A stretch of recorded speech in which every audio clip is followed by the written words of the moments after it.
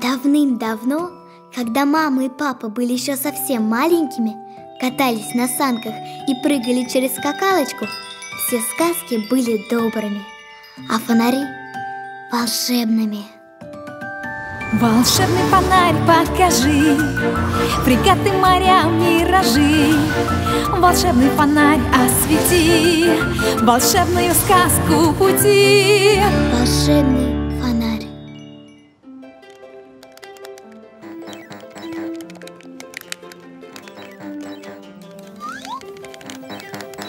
Митя, выключай приставку. Сейчас будем смотреть диафильм. Ага, Катя, а какой шлем мне выбрать? Кругленький и с перьями. Ах, вот, оказывается, чем ты целыми днями занимаешься. Шлемы выбираешь. А что, это тоже важно. Возьму кругленький, он мне больше подходит. Ох, Мить, ты у нас, оказывается, в моде разбираешься Прям как герой одного диафильма Сейчас я тебя с ним познакомлю все, включаю волшебный фонарь. Дюк Степанович по мотивам русских былин.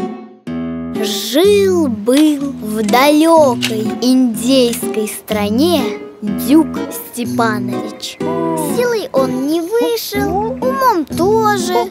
Зато наряды такие, просто загляденье. И ни копейки он в моде не разбирается. Такое уже давно никто не носит. Вот решил Дюк Степанович в столицу русскую податься На других посмотреть, до себя показать. Говорит ему мать на прощание ты в столице-то русской. Много не хвастай. Там богатыри горячие, драку затеют Весь кафтан и замнешь Хм, а как же без драки? Не, без драки я не согласен. Пообещал ей Дюк вести себя скромно. Собрал вещи, сел на коня, да и поехал. Ну драка-то будет, а? Приезжает в столицу русскую и сразу к князю Владимиру. Спрашивает его Владимир. Ну, Дюк Степанович, нравится ли тебе у нас? А Дюк Степанович и отвечает. Да что-то не очень. Грязно, говорит. Я пока шел, все сапожки заморал Сам виноват. Чего это он в сапожках-то приехал?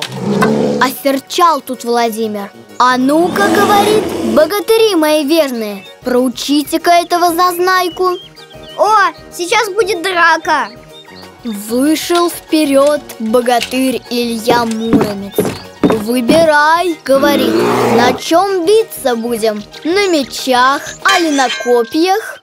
На мечах давай Не, уже на копьях Или на мечах? Задумался Дюк Степанович. А давай, говорит, лучше на нарядах. У кого наряд красивее, тот и победил. На нарядах? А разве так можно? Удивился Илья Муромец. Никогда о таких битвах не слыхивал. Но делать нечего, пришлось приодеться. Какая-то странная сказка. Нарядился Илья На ногах софьяновые сапожки На плечах плащ алый развивается. Ну и красавчик. Но тут Вышел Дюк Степанович. На ногах лапти из семи шелков На плечах кафтан с позументами. А на кафтане пуговицы с музыкой. Пуговицы с музыкой? Я тоже такие хочу. Все так и ахнули. Победил ты, Дюк Степанович, говорит Илья Муромец. Только теперь моя очередь выбирать, на чем биться будем. Выхватил Илья Муромец свой меч богатырский Увидел меч Дюк Степанович и перепугался до смерти Ура, сейчас драка будет Ну, наконец-то! Пора мне, говорит, домой уже возвращаться Ведь меня матушка совсем заждалась Да и побежал так, что только пятки засверкали Стой! Куда?